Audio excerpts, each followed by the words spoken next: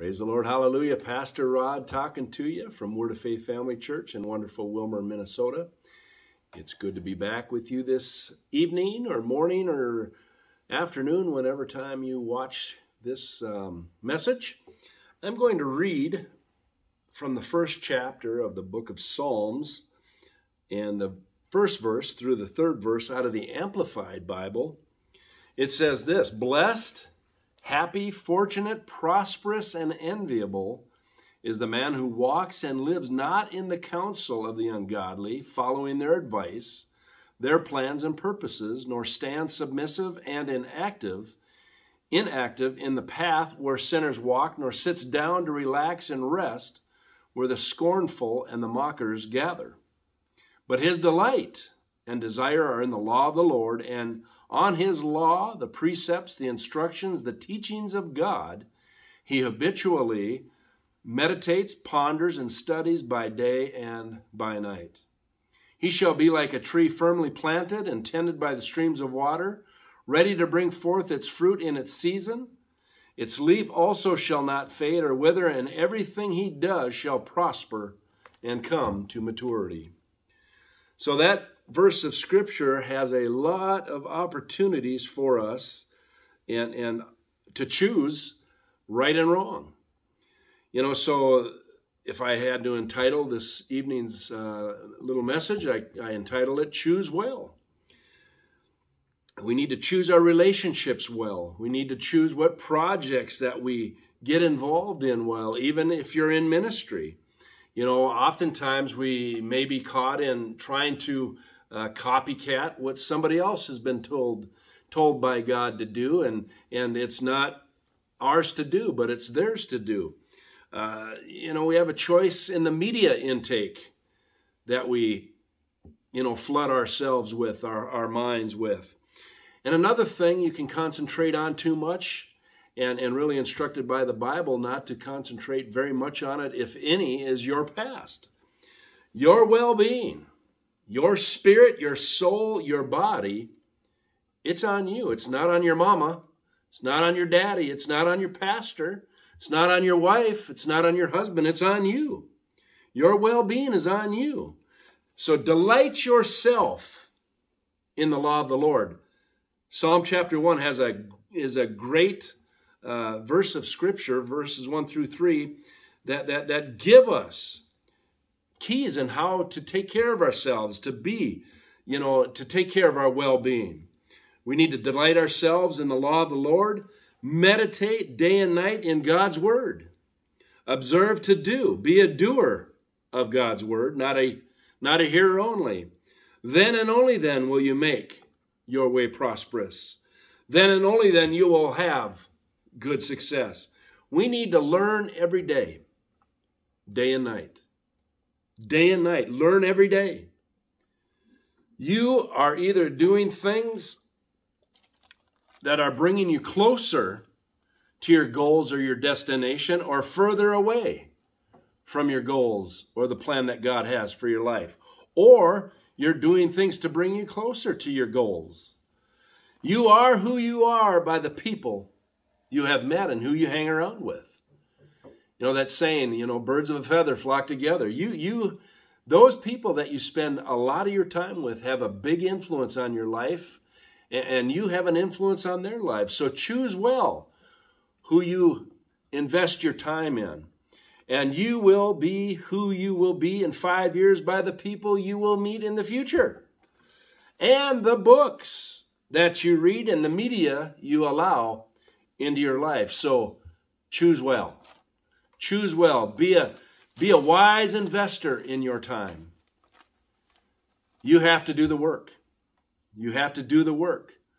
The less that you govern yourself, you're governed by others or circumstances and other outside things.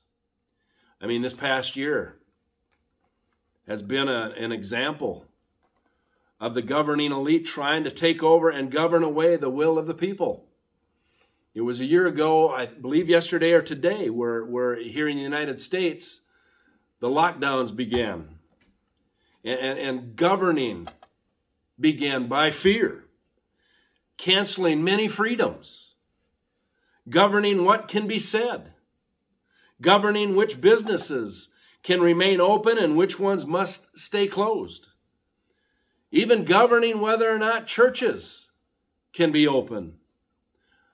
Tonight, what I want to say is enough is enough, bless God. We are free in Christ, and we, as United States of America citizen, we have freedoms based upon the Constitution. Just because of a crisis, just because of a pandemic, does not wipe away the truth of God's Word, and it does not wipe away the Constitution of the United States of America. And whatever country you may be listening from, don't follow the herd mentality. I'll tell you what the herd mentality is, I've found out this last year, is fear, fear, fear. Go the opposite direction of the way of the masses. Again, don't follow the herd mentality. It'll lead you to the slaughterhouse. Don't jump off the cliff with the masses. And don't live an entitled life. Don't expect the government to rescue you.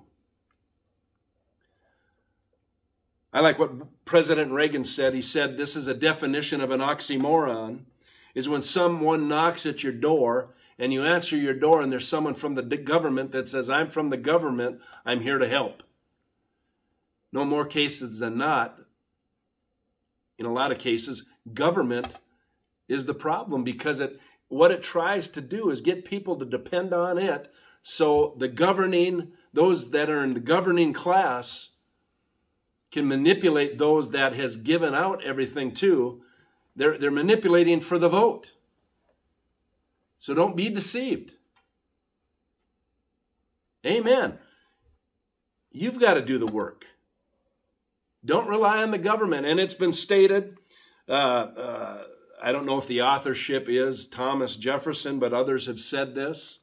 Uh, a government big enough to give you everything you want is strong enough to take everything that you have.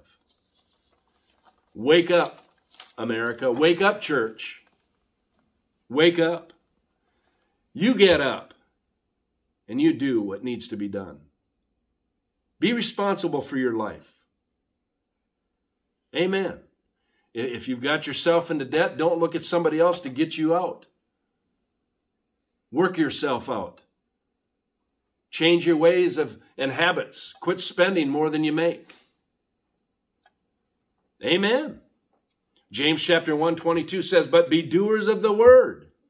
Verse 25 in the Amplified said, But he who looks carefully into the faultless law, the law of liberty, or we could say the word of God, and is faithful to it, and perseveres in looking into it, being not a heedless listener who forgets, but an active doer who obeys. He shall be blessed in his doing, blessed in what he does. Live in and with the discipline to do what needs to be done.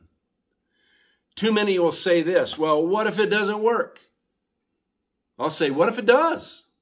What if it does? That's where faith steps in.